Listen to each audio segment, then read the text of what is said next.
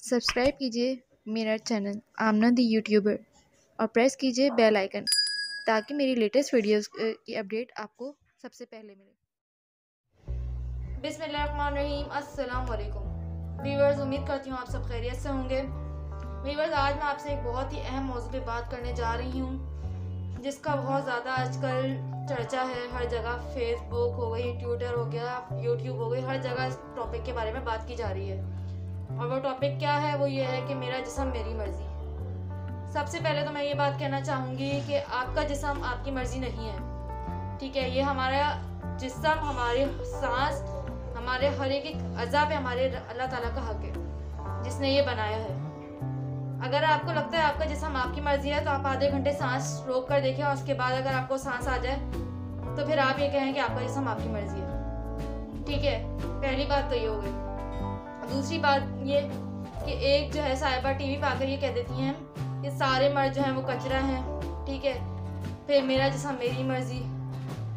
तो आप भी तो किसी की बेटी है ना, आपका भी तो कोई बाप होगा, वो भी तो एक आदमी ही है, या आप ऐसे ही दुनिया में आ गई हैं। मुझे इंतहाई इस बात पे गुस्सा है कि कोई भी आकर कुछ भी बोल दे और हमारी अमाम जो है उसके पीछे पीछे चल देती है। तो मैं ये कहना चाहूँगी कि हमारे, हम ऐसे माशरे में रहते हैं जहाँ पे कि अगर कोई गुड़िया भी लेती है ना बच्ची तो उसके साथ उसका दुपट्टा भी लेती है। ठीक है? दूसरा हमारा मज़हब, इस्लाम।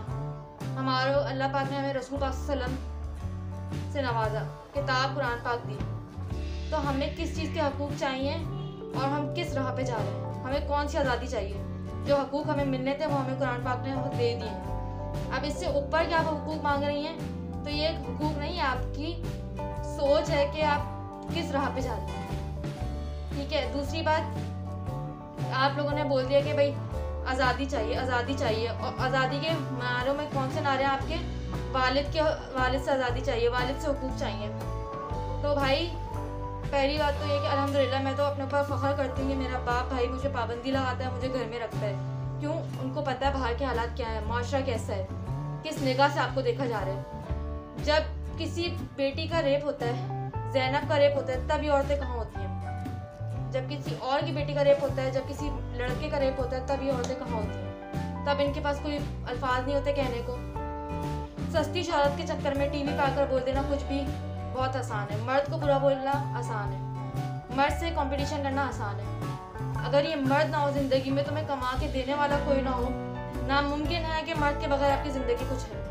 अल्लाह पाक ने औरत को मर्द दिया मर्द को औरत के बनाया। ये सोचने वाली चीज़ है। आप आज़ादी की बात करती हैं, अपने हकूक़ की बात करती हैं। एक मर्द जब किसी औरत से निकाह करता है, उसको अपने घर लेकर आता है, उसको अपनी इज़्ज़त बनाकर चार दीवारी के बीच रखता है, उसको वो एक मुकाम देता है औरत का। इस्लाम ने औरत को बहुत बड़ा रुतबा दिया है। कुरान पाक में औरतों का बहुत एहतराम है। मर्द को इज़्ज़त कमानी पड़ती है औरत को इज़्ज़त कुरान पाक ने और इस्लाम ने दी है। सबसे बड़ी बात, बाहर मुल्कों में आप चले जाएँ, वहाँ की औरतों का क्या है? उनको कोई इज़्ज़त नहीं दी जाती। उनकी औरतें आपके सामने किस तरह वो धक्के खाती हैं जॉब्स के लिए? किस तरह से उनके मर्द उनको जलील करते हैं? ठीक है, उनकी औलादें किस तरह से होती हैं? ये सब आपके सामने आप कहती हैं कि हमें आज़ादी चाहिए। आपको हुकूक आपके अल्लाह ताला ने दे दिए हैं। अब आप ऊपर से हुकूक मांगे तो ये नाजायज़ है। ठीक है? और एक बात ये कि आजकल जो मतलब इनके नारों की वजह से ना शादियों में बहुत मसला हो रहा है। पहले एक होता था कि नॉर्मल घराने मिडिल क्लास में शादी के लिए क्या पूछा जाता था? जी, लड़की को काम कहा जाता है नहीं आता। आजकल सबसे पहला सवाल क्या होता है? लड़की की जॉब कैसी है? कम उम्र लड़की चाहिए, खूबसूरत हो? और ये सब सवाल आपके इस मार्च ने ना लोगों के और औरतों के जहनों का बेड़ा गर्क कर दिया। ठीक है? एक औरत जो घर में, जिसको सारे हुकूक मिल रहे हो, वो घर में हांडी चूल्हा कर हो उसको कोई ऐसी बंदी आके मिल जाए, चलो भाई तुम भी मार्च में चलो तुम्हें अपने हुकूक लो। जबकि उसको सारे हुकूक उसको मिल रहे हैं। उसका शोहर कम तनख्वाह में भी उसके सारे हुकूक पूरे कर रहा है। तो आपको ये हक किसने दिया कि आप उसको बुला के ये बोलो कि आओ तुम भी मार्च का हिस्सा तो इस पर नज़र रखें, इस बात पर गौर करें।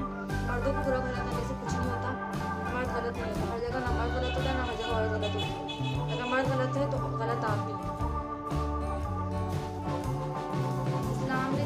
पर्दा रखा है। भले मर्दों को वो सब बातें करता है जिस बात पर पर्दा रखा है, आप उसको खुला खुला कह रहे हैं उनके पोस्टर्स बना बना के आप पेश करे जा रही हैं, रोडों पे निकल निकल के। कुछ खातन के खातिर आप रोडों पे निकल निकल के वो पोस्टर सबको दिखा रही हैं जिन पर बेहयाई के क्या मैं बोलूँ कि अशार लिखे हैं कि बेहयाई की बातें लिखी हुई ठीक है? हम अपने बाप भाई के सामने आपकी बातें नहीं कर सकते, हम आपके बाप, अपने बाप भाइयों के सामने फेसबुक यूज़ नहीं कर सकते। वजह आपकी ये बेहयाई की पोस्टर्स और वीडियोस हमें और क्या आज़ादी चाहिए कि हमारे बाप भाई हमें फेसबुक सोशल मीडिया यूज़ करने की इजाज़त दे रहे हैं, हमें बाहर निकलने की इजाज़त दे रहे हैं। अब हम और क्या आज़ादी मांगें इनसे? तो जो और एक बात खलील रहमान साहब को बहुत लोग गलत कह रहे हैं। किस बात पर गलत कह रहे हैं, मुझे नहीं पता। मुझे पता भी है, लेकिन मैं बोलूँ तो हर ताली एक हाथ से नहीं बचती, ठीक है? मारवी शर्मा ने आके टीवी पे उनके बारे में जो बोला, उनको बोला तो आगे से गैरत मर्द मर्द कभी भी बर्दाश्त नहीं करेगा कि कोई उसको कुछ ऐसा टीवी पे बोले या इस्लाम के उस पर बोले। आप जो नॉर्मल बंदी होंगी ना, आप उनको भी बिहार की तरफ़ लेके जा रही हैं। आजकल तेरह चौदह साल की बच्ची को आप ले लो। वो अपने हाथ काट रही है नशे काट रही है। और आपका मार देखने के बाद तो वो उसके दिमाग तो बहुत ही ऊँचे हो गए। वो अपना घर छोड़ने को तैयार है, अपने वालिद से अपने हकूक मांग रही है। अपनी फैमिली से अपने हकूक मांग रही है, अपने भाई से अपने हकूक मांग रही है। नशे काट रही है महबूब के लिए पता नहीं क्या क्या इनके। तो ये सारे आपका मार्च का जो है ना, गलाजत के उन सब के दिमागों में जा रहे हैं। हमारी जनरेशन का दिमाग किस तरफ़ जा रहा है, आप सोच नहीं सकते हैं। उनको हकूक नहीं मिल रहे उनके। ये हकूक नहीं है कि आप किसी के जहन को ख़राब करो। पहली बात, ठीक है? मुझे पता है, मुझे इस वीडियो में बहुत सी बातें सुनने को मिलेंगी। बहुत से लोग एतराज़ करेंगे। मुझे इस चीज़ से कोई फ़र्क नहीं पड़ता, ठीक है?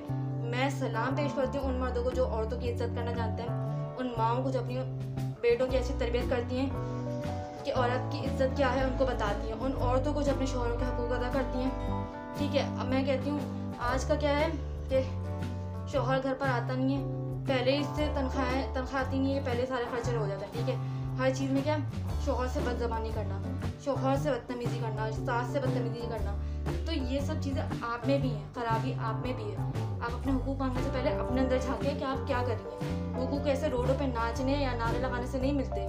माजरत, लेकिन ये बात बहुत गलत है कि आप रोडों पे आके नाच रही हो और रोडों पे आप सबको ऐसे आके जो एक आज़ाद ख्याल खवतिन है ना, रोडों पे आके कुछ भी कर रही है। जिसका जो दिन में आ रहा है, वो करें। इस चीज़ से जो है ना, परहेज़ कीजिए और हमारी यंग जनरेशन का दिमाग ख़राब ना कीजिए। उदारा आपको वास्ता दिया जा रहा है, ठीक है? और मर्दों को बुरा ना कहिए, बुरे आप भी हैं। मैं किसी मर्द को बुरा नहीं कहती, मैं सलाम पेश करती हूँ। मर्दों को जो औरत की खातिर बाहर निकलता है, अपनी औलाद की खातिर बाहर निकलता है। लोगों की गालियाँ सुनता है, धक्का पेल सुनता है। सही है, मैं उन सब मर्दों को सलाम पेश करती हूँ, जो अपनी फैमिली की खातिर बाहर गालियाँ सुनते हैं। ये सोचने वाली बात है, आप दूसरों की बातों में आके अपने शोरों से बदतमीजी करती हैं। ठीक है, उनके हकूक पूरे नहीं करती। तो काइंडली इस चीज़ पर बहुत गौर करें।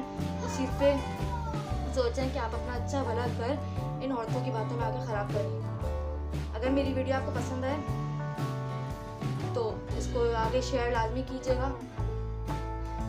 मैं माजरत चाहूँगी मुझे वीडियो बनानी पड़ी, क्योंकि मैं नहीं सोच सकती थी मैं इतना, इतने दिनों से मैं ये सब कोशिश देखी थी, वीडियोस देखी थी तो मेरा दिमाग जो है ना बहुत ज़्यादा ख़राब हो चुका था। तो अगर किसी को मेरी वीडियो बुरी लगी हो तो इसलिए माजरत लेकिन मैंने सच ही कहा जो भी कहा, अगर आपको आज़ादी इतनी ही चाहिए, आज़ादी पसंद है तो आप बाहर मुल्क में रहना, आप पाकिस्तान और मुसलमान के रहने के हकदार नहीं हैं। ठीक है?